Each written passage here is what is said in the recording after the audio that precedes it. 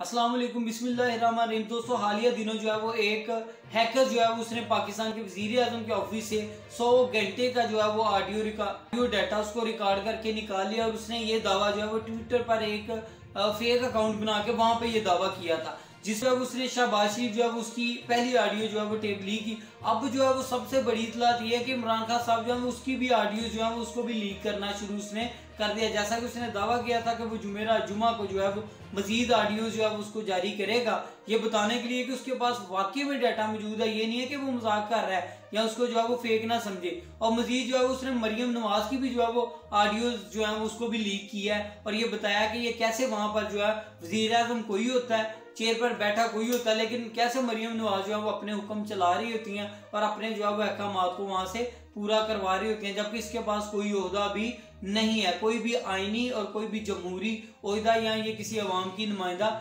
नहीं है। तो दोस्तों, जो मरियम नवाज़ की ऑडियो लीक हुई और इमरान खान साहब की, इनके बारे में बताऊँगा। आज जो है, वो अपने चचा और मौजूदा वज़ीर आज़म शाहबाज शरीफ साहब को ये कह रही हैं कि इमरान खान साहब ने जो गरीबों के लिए सेहत कार्ड शुरू किया था, अब इसको बंद करवाएँ। इस कार्ड की वजह से अवाम में इमरान खान साहब जो है, उसकी बहुत इज़्ज़त, रिस्पेक्ट और आम आवाम जो है, वो इमरान खान के साथ खड़ी हो गई है और इमरान खान साहब जो है, वो इससे बहुत ज़्यादा एडवांटेज ले रहे हैं। लिहाजा इस कार्ड को फ़ौरन जो है, वो बंद करवाएँ। और अगर आपसे कोई पूछे कि आप ये सेहत कार्ड गरीबों अच्छा प्रोजेक्ट है, आप इसको क्यों बंद कर रहे हैं? तो आप ये बहाना लगाइएगा, देखे पूरा मुल्क जो है, वो बर्बाद हो गया यहाँ पे जो है कोई वसाइल नहीं है।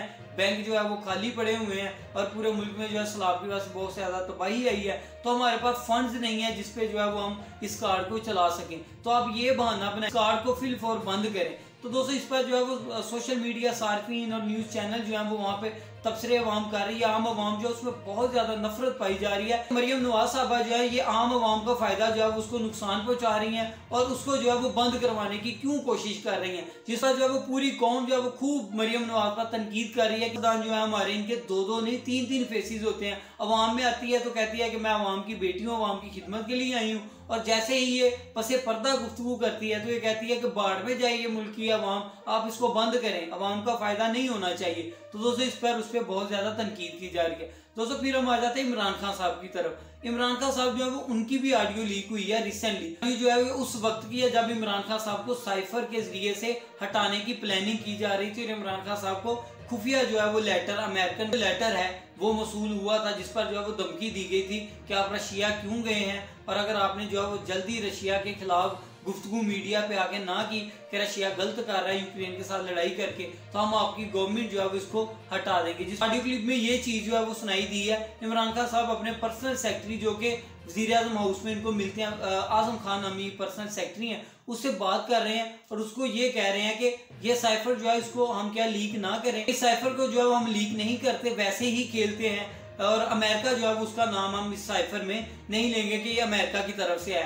दोस्तों, इतना सा जो इमरान खान साहब जो है वो उनकी रिकॉर्डिंग को लीक किया गया, जिसको इमरान खान साहब ने तस्लीम कर लिया। और इमरान खान साहब ने ये कहा है कि अभी तो मैं इस चीज़ पर खेलना ही नहीं हूँ। अगर मैं इसके खेलने के लिए आऊँ या आज भी खेलना शुरू करूँ तो कोई किरदार जो है वो ना बचे। जो है वो ये चीज़ें खुलकर सामने आई हैं, जिस पर बहुत सारे लोग गुफ्तु कर रहे हैं, बहुत सारे पॉइंट्स जो है वो मिलते हैं।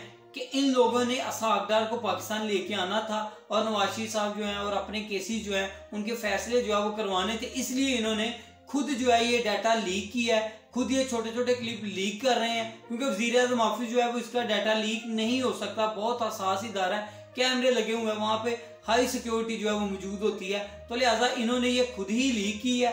ताकि जो है ये अपना एडवांटेज ले सके, सियासी अपने केसेस जो है उनके फैसले खत्म करवा सके। जैसे रिसेंटली जो है मरियम नवाज़ रिहा हुई और इसी तरह इसहाक डार को इन्होंने पाकिस्तान में लेके आए। आप देखें कि इन आडियो की वजह से सारी मीडिया सारी कौम जो है वो इन आडियो की तरफ़ ध्यान हो गया और इसहाक डार भी पाकिस्तान आ गया। मरियम नवाज़ जो कहता अदालतों की तरफ़ से सजा दी जा चुकी थी। वो सारे के सारे जो है वो अचानक से बरी हो गए तो ये जो है, ये भी एक तरह का प्रोपोगंडा जो है वो आम आवाम को लग रहा है। मजीद ये है कि मैंने आपको लास्ट वीडियो में ये कहा था कि ये जो है वो जल्दी सिक्योरिटी इजलास बुलाने वाले हैं, जिसमें ये फैसला करेंगे कि ऑफ़िस जो है वो इसकी सिक्योरिटी को मजीद सख्त किया जाए। तो ये आज जो है वो आज की डेट में ये फैसले हुए हैं कि नेक्स्ट टाइम जो है वो किसी को भी वजी अजम ऑफ़िस में लैपटॉप और मोबाइल जो है वो इस तरह की चीज़ें लेके आने की इजाज़त नहीं होगी, की जा रही है। अब तक के लिए इतना ही। दुआ में याद रखिएगा। अल्लाह हाफिज।